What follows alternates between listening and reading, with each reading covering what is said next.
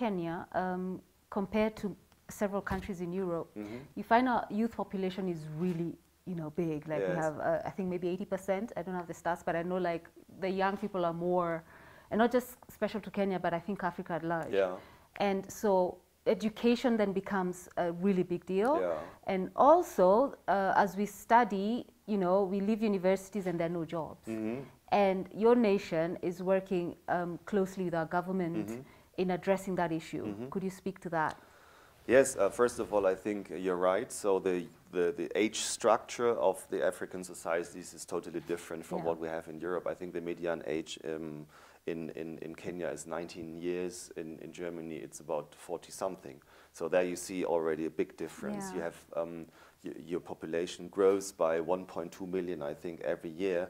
Germany is more or less stable, or some countries are going down also in Europe. So you see the whole dynamics is totally different.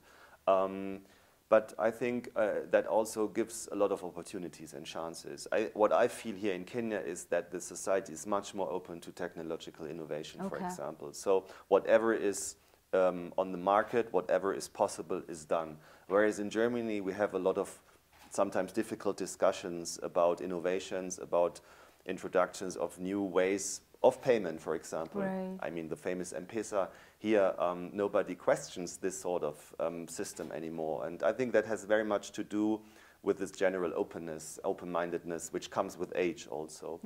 Um, secondly, um, you are right. Um, so uh, Germany is trying to help uh, as much as possible in all the TVET structures in education. Um, so to give the youth a good education, that, Yeah. they, that they find good jobs here in Kenya. So Yeah. we are building seven centers of excellence for TVET in mechatronic, in um, hospitality, um, in um, engineering, in, in, in other parts. Also, we have a number of initiatives of the German hotels along the coasts Okay. that do their own educational programs.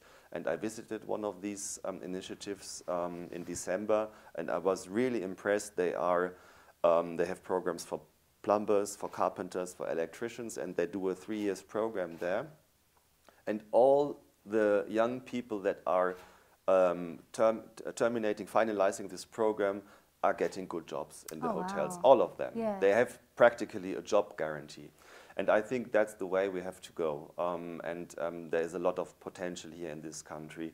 And then, um, thirdly, um, I think also with this difference in, in the age structure of the societies, we have also a possibility to cooperate closely together because um, we need good people and you have good people. So why not make a win-win situation out of this? Um, in Germany, we have a very interesting discussion right now about opening up our labor market for skilled immigration. Okay. This will happen because we need people. We need 250,000 to 400,000 people For per what? year for jobs in nursery, in hospitality, in logistics, um, everywhere. Okay. So um, we really have a have a lack of skilled labor in some sectors. Um, this is really the main point that that that companies can't grow any any longer because they don't just don't have the people. Wow. And um, so this the a new immigration law, which will be a little bit modeled along the Canadian um, and, and Scandinavian uh, laws, um, will be introduced very soon. And um, we are already in talks here um, with the Goethe Institute for the language skills, uh, with the TVET institutions, with some of the universities, how we can also put Kenya on the spot to be one of the partners in this um, in this um, yeah, joint effort. Wow.